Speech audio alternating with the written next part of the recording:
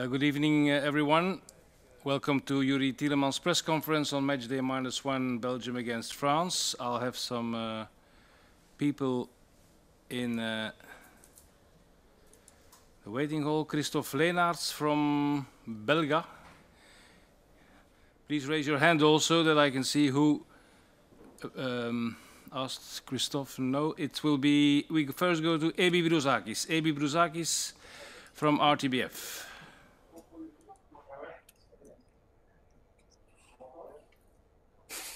M'entends. M'entends-on Yuri, m'entends? On dirait qu'on ne m'entend pas. Oui, on m'entend Ah voilà, Yuri. Voilà, Yuri, j'ai envie de voir ton, sentiment juste cette euh, rencontre. On parle, voilà, il y a un peu la, la- la rivalité, etc. Toi, tu te situes comment par rapport, à, par rapport à tout ce qui tourne autour de ce match?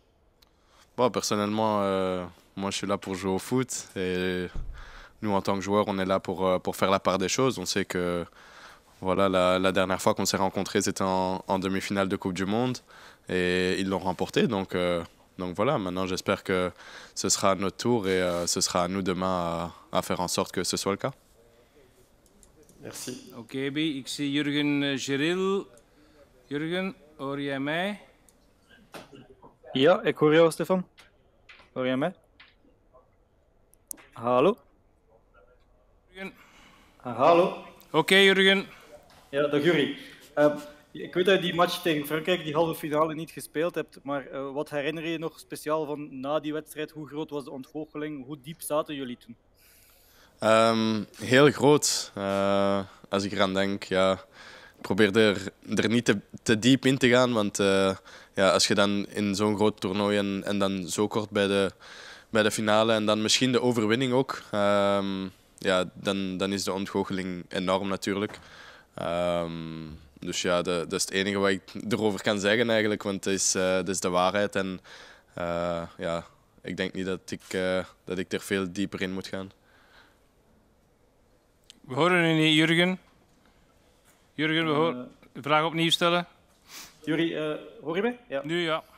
Oké, over eh, twee Franse middenvelders. Kanté is er niet bij, ehm, Pogba wel. Ehm, je kent ze alle twee uit de, uit de Premier League. Ehm, ja, hoe blij ben je dat, dat Kanté er niet bij is? En wat zijn jouw ervaringen met Paul Pogba?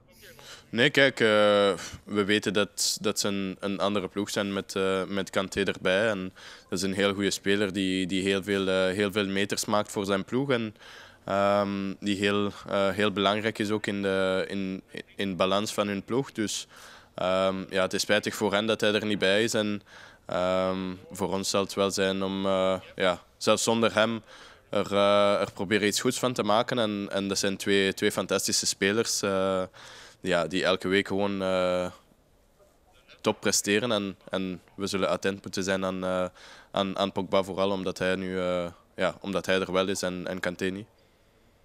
Oké, Jurgen. Dankjewel, Christophe Franken. La dernière. Christophe. Bonjour, euh, bonjour Yuri, j'ai deux questions très différentes. La première concerne l'Italie qui a eu beaucoup de problèmes de racisme dans ses stades il y a ces dernières semaines, pas plus tard que le week-end passé. Est-ce que, un, premièrement, tu as suivi ça? Et est-ce que, deux, si ça arrive demain, est-ce que vous pourriez décider d'arrêter le match ou de quitter la pelouse?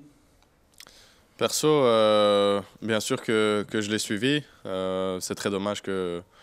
Voilà, on le, répète euh, maintes et maintes fois et, c'est vraiment dommage que, ça continue à arriver, surtout dans un stade de foot et même dans la communauté, donc euh, pas, seulement en, Italie mais, ailleurs aussi. Euh, donc c'est vraiment dommage, comme j'ai dit. Après, par rapport à demain, si, ça devrait arriver, on n'a pas vraiment parlé de ça dans le groupe, de ce qu'on ferait. Personnellement, moi, j'ai un avis personnel là-dessus. Euh, et et j'ai pas envie que, que, voilà, que, que les, les personnes qui, qui font des chants comme ça ou euh, qui ont des, des propos euh, déplacés soient les vainqueurs de, de notre sport. Donc, personnellement, j'ai pas envie d'arrêter le match, mais j'ai envie de, de faire les démarches comme, comme elles nous l'ont été présentées par, par, par nos supérieurs, on va dire. Oké. J'avais une, seconde... ah, j'avais une seconde question, voilà, si, si c'est OK. Euh, Yuri, euh, est-ce que tu, tu- tu n'as pas de gagné de match à part en Coupe de la Ligue en mois de septembre? Euh, il y a eu des critiques sur ton euro où, où on t'attendait encore plus fort, évidemment. Euh, comment est-ce que, premièrement, tu juges ton début de saison et est-ce que tu, tu, te dis que tu, as la, tu poses des questions sur la, ta meilleure forme? Est-ce que tu as la recherche de ta meilleure forme? Non, je ne me pose pas des questions. Euh, moi, tout ce, que, tout ce que je peux faire et tout ce qui est en mon contrôle, c'est mon travail. Euh, c'est mon travail quotidien, que ce soit en dehors du terrain ou, sur le terrain. Donc, moi, j'essaie de, de, faire mon truc personnellement pour, pour aider l'équipe au, au, mieux possible. Et euh, je sais que mes, mes prestations vont, vont, suivre naturellement. Euh, c'est sûr qu'on a un début de saison difficile euh, niveau résultat et aussi niveau, euh, niveau création de jeu avec Leicester. Maintenant, euh, voilà, c'est à, à, nous à, à, sortir de cette phase-là. Euh, peut-être que la, la sélection va nous faire du bien dans le sens où, où tout le monde va, va, être rafraîchi à notre tour. Donc, donc voilà, j'espère que ce sera le cas et que, que, le mois prochain, on peut repartir sur de, sur de bonnes bases. Ok, merci Christophe. Guillaume Raats, le soir. Guillaume? Oui, bonjour, euh, bonjour Yuri. Euh, tu n'avais pas participé à, à, ce match euh, en 2018, mais tu étais présent. Qu'est-ce qu'il faudra faire de mieux selon toi euh, demain? Je pense que ce match-là, ça, ça s'est joué à un détail, euh, un petit corner, et euh, enfin un grand corner, le corner décisif. Donc c'était c'était vraiment, vraiment dommage parce que je pense qu'on n'a pas fait pas fait beaucoup d'erreurs dans ce match-là. C'est sûr qu'ils ont eu des occasions, on en a eu euh, aussi qu'on n'a pas mis au fond, mais, euh, mais voilà, eux, ils ont eu ce, ce petit brin de réussite sur, euh, sur ce corner et, et voilà, c'est tout en leur honneur. Et, et, demain, il faut, il faut faire un gros match. On sait que, que ça va se jouer à des détails. C'est toujours le cas dans des grands matchs comme ça. Donc, euh, j'espère que le brin de chance nous, nous sourira à nous euh, demain. Ok. J'avais une, une deuxième question, Stéphane. Oui. Euh, vous, contre l'Italie au mois de juillet, ça, avait été compliqué euh, face au pressing italien. Euh, Est-ce que tu sens que vous êtes mieux préparé à, ça si, la France décide de, presser haut? C'est sûr qu'on a eu euh, du mal, surtout en première mi-temps, face à leur pressing. Après, depuis, depuis lors, on a joué la République tchèque, qui est aussi très réputée pour, pour leur pressing. On l'avait vu là-bas à, Prague et, et, on avait eu énormément de mal aussi à sortir. Je pense qu'à la maison contre, contre la République tchèque, on a montré qu'on qu avait appris de, de, de ce fait-là et de ce fait de jeu. Donc, euh, donc voilà, j'espère que ça va nous servir dans, dans le futur et, et, demain aussi. Merci Guillaume. Manu Jous, RTBF. Vous êtes activé. Bonjour Yuri. Euh, Didier Deschamps disait tout à l'heure à sa conférence de presse, euh, c'est la première fois que ça m'arrive de débarquer comme ça dans un tournoi et d'être directement en demi-finale. Donc c'est vrai que c'est un petit peu particulier. On a l'impression que vous venez pour jouer euh, un match contre l'équipe de France d'abord et puis un deuxième. Mais est-ce que vous, vous êtes vraiment dans, cet, état d'esprit? Nous sommes dans un tournoi avec peut-être un trophée dans deux matchs. Bien sûr, bien sûr. Je pense que une fois qu'on est dedans, on réalise le, fait de jeu et, l'événement aussi. Euh, faut pas oublier aussi qu'on a eu un groupe très difficile. On a eu le, Dan le, le Danemark, l'Angleterre, l'Islande, qui, sont de très bons pays, euh, et qu'on a réussi à, vaincre pour, arriver dans cette demi-finale. Donc, euh, c'est le travail de toute une année, vu que ça s'est passé l'année dernière. Donc, euh, voilà, ce sera à nous à, en profiter au maximum demain, et, j'espère en ressortir le meilleur. Ok, merci. Tim Thornton? Deux... Ah, pardon, pardon, ah, Manu. Pardon. Si je peux juste une, ouais, une oui, petite oui. deuxième question, pas de souci. Euh, Yuri, ben, la, la, France reste sur un, un euro euh, décevant, évidemment, hein, avec cet échec, cette élimination contre la Suisse. Est-ce que pour toi, c'est un, juste un accident de parcours ou est-ce que ça signifie qu'elle est moins bien aujourd'hui qu'elle n'était à la Coupe du Monde? Non, je pense que demain sera un match tout à fait différent. Euh, Peut-être qu'ils ont appris de, de, leurs erreurs durant l'Euro, comme nous on a appris aussi. Donc, euh, donc voilà, ce sera, euh, ce sera un, un, match tout à fait différent pour, pour ma part. Et euh, je ne pense pas que l'Euro euh, sera encore dans leur tête pour demain. Okay. Merci. Tim Thornton, Sky Sports.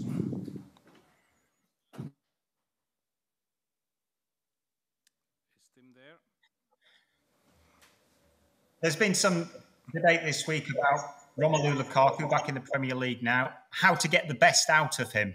Uh, I just wondered, as somebody who plays alongside him uh, at international level, what do you think is the is the key to getting the very best out of him? And do you now measure him up against the very best strikers in the world?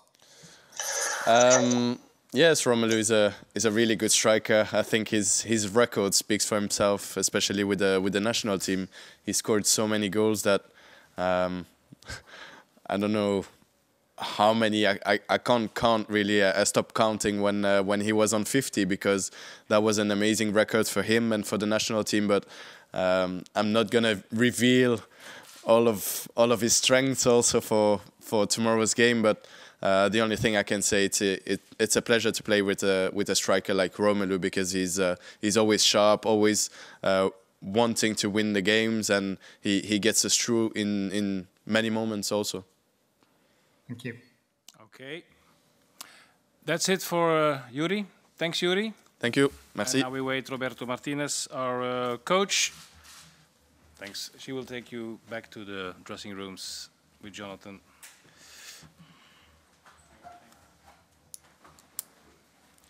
Are these glasses fresh? Fresh water? Okay, yeah.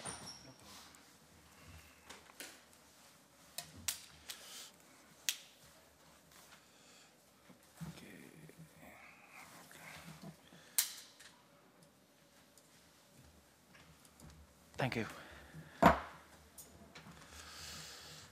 Welcome, Roberto Martinez, on this uh, Matchday Minus One press Thank you. conference, digital, remote. We first uh, go to Ludo van der Wallen. He has a question for you. Ludo van der Wallen from het Nieuwsblad for Roberto Martinez. Ludo?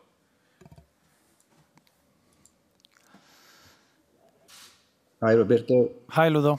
Hi. Uh, it was three years ago that Belgium played against France in the semi-finals of the World Cup. Do you think Belgium is stronger than in 2018, or is the, or are they weaker, or still the same?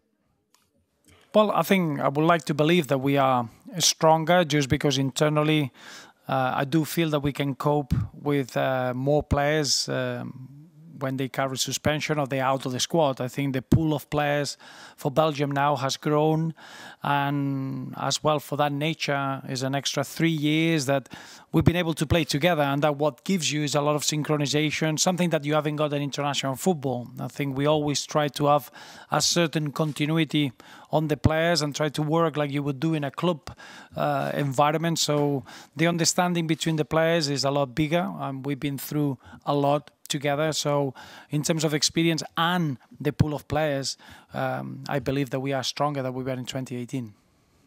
And what about the French team? Probably you could say similar. I do feel that they got that experience. Uh, probably the only big difference of this squad is probably the younger players that they've come in, and then probably the the uh, the appearance of of Karim Benzema but uh, we had a very young Kylian Mbappe in, in Russia now is in a, a peak moment of his career and throughout with uh, Antoine Griezmann to, to, to the relevance of Pogba and the options. I think this generation in French football, they got probably three uh, elite footballers per position. But um, I would I would believe that Messi, mm, I'm sure that Didier, Didier Deschamps would, would, would think that his team has improved as well since 2018. Okay, thank you. okay, you. Ludo. Thank you. Yves Taildeman, la dernière heure. Yves? Okay. Um, Coach, uh, since the game in 2018, in which you did not score, you scored in every one of uh, in every game, 37 games in a row. What's what made, makes you think that uh, we can break the wall, the French wall, uh, tomorrow, which did not, uh, which we did not succeed in uh, in 2018? But I think that's one of the challenges. Obviously, we want to win the football game, but I think one of the challenges is to, to be able to be ourselves. I think we're a team that we we work hard to create chances to be an attacking team to score. As you mentioned, we got the longest sequence at the moment. Um, I wouldn't like to correct you, but I think it's 38 games since then, and it is important. It's important because it means that you have to do things very well. Is the French team are always very well drilled defensively, really well organized. But then you need to be always cautious because the moment that you lose the ball, they've got uh, world class attacking threat. So I think as a game is a good as good as it gets. Not just for our fans and ourselves. I think it's for for the neutral fan, and this is the competition we want to be. And it's not uh, a friendly or a game with no significance. I think it's, great and it's the right thing to do to face uh, this French team in a in a very very meaningful competition. Yeah, if I can ask a second one, um, in 2018 you were very surprised uh, that uh, France defended uh, was so defensive in that game. Do you expect them tomorrow to be as defensive as in 2018? I think what you're going to see tomorrow is that mm, both teams will have to defend very, very well when we haven't got the ball. And the attacking threat that both sides have bring you that. Um, it's not just what you're going to do off the ball, is is then how you can control the game on the ball. I think it's a, a real complete performance. Whoever's going to get the win tomorrow is going to be uh, a perfect performance due to the individual quality that you have in both sides. But um, sometimes you, you need to get through the experiences that we had in, in the World Cup in Russia and the, the experiences that we had in the Euros to be able to get through games like we're going to be facing tomorrow with the experience that is needed in those moments and not just rely on the individual talent. And I think on, on 2018, France had that know how and that uh, almost extra feeling after their final in 2016 to do whatever it took to win the game, and and that's that that was the difference on the on the day. Okay, thanks, Yves. We go to Christophe Leenaerts from Belga News Agency. Christophe. Christophe, there Hello? is. Yep. Yeah, Okay. we can hear you. Hi, Roberto. Hi, Can you tell us something more about uh, Jason Denayer, who didn't train yesterday with the group? What exactly was uh, the problem? Yes, uh, obviously we were we were having two players that we were keeping in a different pace in an individual program. That was Jason Denayer and then Torgan Hazard. And uh, Jason Denayer just he was a bit overloaded. He played at the weekend.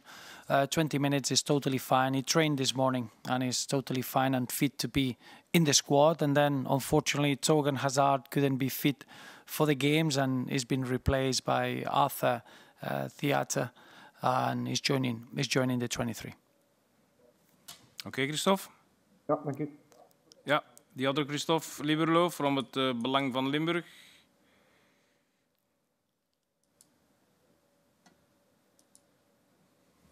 Christophe Liberlo.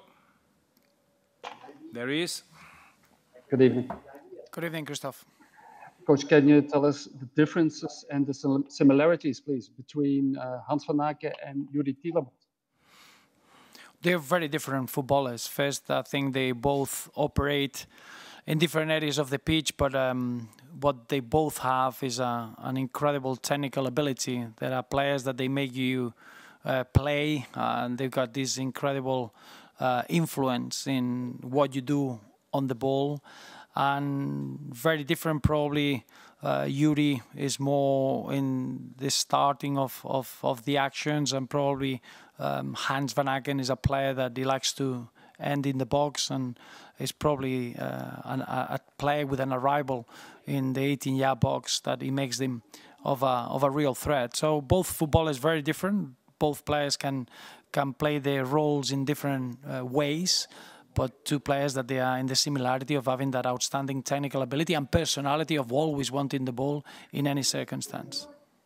Okay, thanks, One other question, uh, yeah, Coach. okay. Uh, with a with a big tournament, often is said that you need a really good goalkeeper, a top goalkeeper, to win a tournament.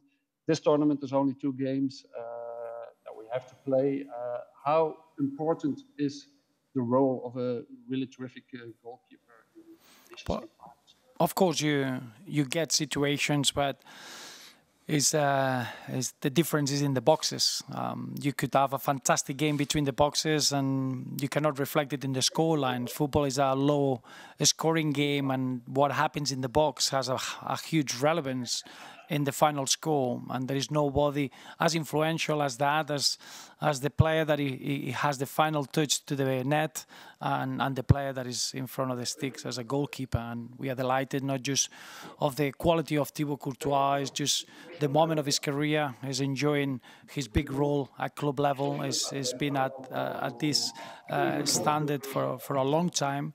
And probably the last time that we faced the French team, he was named best player in the World Cup in 2018, and I would say that since then he's been evolving, growing, and it's a real joy to to watch him play, especially for the national team. Thanks, Christoph. We go to Tim Thornton from uh, Sky Sports in the UK. Tim. Some debate this week about Romelu Lukaku, how to get the best out of him.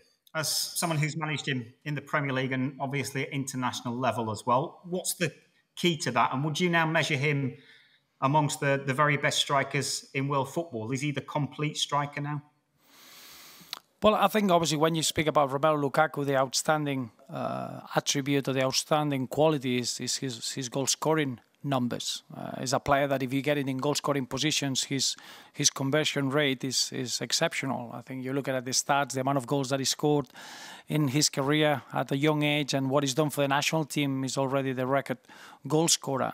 That's his real strength. So you get the best out of him when he is in those positions, when the team can put him in those situations. Um, obviously, I start working with Romelu Lukaku at the age of 19 as any player, you would see an evolution. And Romelu has become a, a, number nine that he can do every single function. He can play with the back to, to, to, to play. He can run in behind. He's got the power, the pace. He's got the understanding of combining with other players.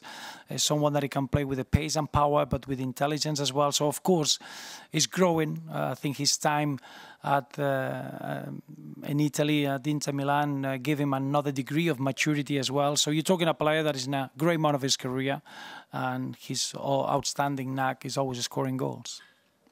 Okay. Thanks, Tim. Christoph Franken, la dernière. Coach, um, why do you choose for Arthur Theate for, for this uh, this selection? Because it's it's his first time and, and it's a left foot uh, footed uh, defender. So for you, it's a it's a big hope for the for the future. It is, yeah. Well, obviously, um, remember that Thomas Vermaelen wasn't available due to the quarantine rules, and he had in Japan. Then we had obviously Zinho Vanheusden is not uh, fit, is going to be out. Um, and then it was a, a, case of being able to work with Arthur. He was with a squad in the under 21s. He's a profile that we follow very closely since uh, he, he started consistently playing the Pro League in Belgium. His move to Italy has come in a very good moment. He had a great weekend with an assist, with scoring a goal. He's playing with a lot of confidence and is a perfect profile for us as a left-footed player that he can play in centre half or left back. Is a real good fit, and this is going to be the experience of his life. Um, working on his development will be essential and important, and probably was at the right time at the right place for this called up. Ok, thank you. Terminamos con una pregunta en español para que la cadena SER no tiene, tiene problemas con activar el micrófono. Uh, una pregunta para cadena SER, José Palacio. Ahora se juega en Italia-España. ¿Te gustaría enfrentarte a España en la final de la Nations League? Hola José. Bueno, eh, lo, lo, bonito es estar en esta, en esta fase final y lo que es importante es poder estar en la final, que quería decir que, que podemos vencer a una selección como, como Francia. Mm, luego ya veríamos, la final sería bienvenida, pero siempre es, es bonito poder jugar contra España. Otra pregunta, ¿qué te parece la lista de convocados de Luis Enrique? Uh, no estoy no estoy en ninguna posición para comentar, no tengo ni la información ni el detalle que un seleccionador tiene. Bastante trabajo tengo con la, con la mía. Okay, we don't have any more questions. Thanks all, thanks for being here. Thanks coach. See you tomorrow after the game.